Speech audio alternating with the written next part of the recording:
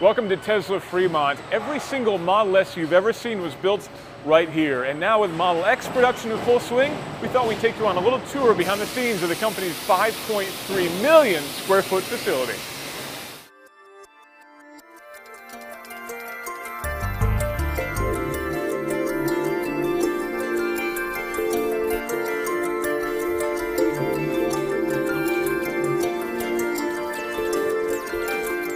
At its peak, the factory produced 500,000 cars a year. Tesla's doing about a tenth of that at this point, but they're going to have to scale up in a big way to keep up with demand of the Model 3.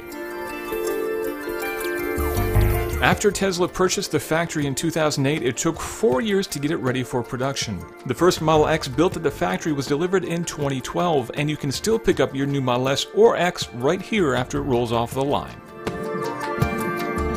Tesla uses 200 robots to automate manufacturing in the factory, each one worth about $50,000. Each one has its own name, most borrowed from X-Men characters including Wolverine, Iceman, Angel, and Cyclops. The Fremont factory is home to the largest hydraulic press in the US. The so-called Schuler press is 7 stories tall and is sunk 3 stories into the ground just to make it fit inside. Tesla paid $4 million for the $50 million press and then paid another $4 million just to transport it from Michigan to California. Raw aluminum comes in, is stamped and extruded and spot welded together with high tensile steel, and the result is the raw components to build the chassis for the Model S and the Model X, which roll off the line together.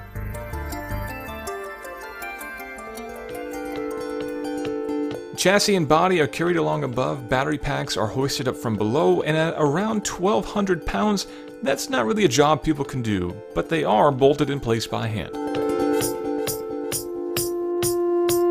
Nearly completed cars follow a roller coaster of tracks overhead, while many robots that deliver parts roll along magnetic tracks laid on the floor.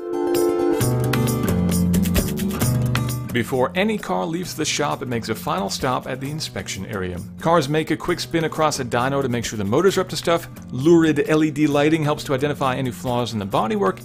Finally, the cars are dried off, cleaned up, and shipped out.